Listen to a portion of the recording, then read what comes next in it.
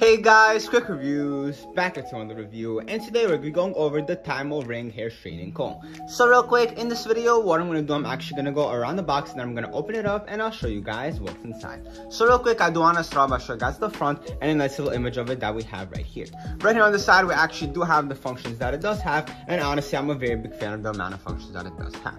It actually does have 5 temperature levels for different hair types, 60 second fast heat up, and a 30 minutes auto off. We do have a 360 360 degree swivel power cord and an international dual voltage. We do actually have an auto temperature lock. Right here in the back, we actually do have what's inside. We do have one straightening comb inside. We do have a detangling brush, a travel bag, a glove, and two hairpins. So now what I'm gonna do, I'm actually gonna go ahead and open it up and I'll show you guys what's inside. Alrighty guys, so this is everything that comes inside the box. Right here we do actually have the detangling brush and the two hairpins right here. Right here we do actually have a user manual, the actual Tymo ring right here, the travel bag, and the glove right here. Honestly, I'm a very big fan of the design, and right here the glove actually does have a non-slip surface. The child bag also does have an amazing and elegant design.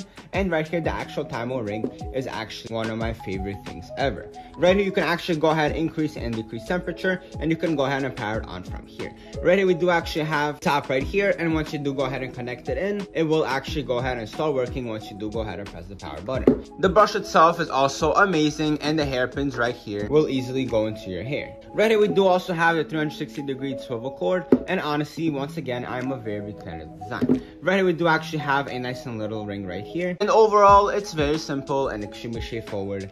I just want to thank you guys so much for watching today's review and I'll see you in the next one.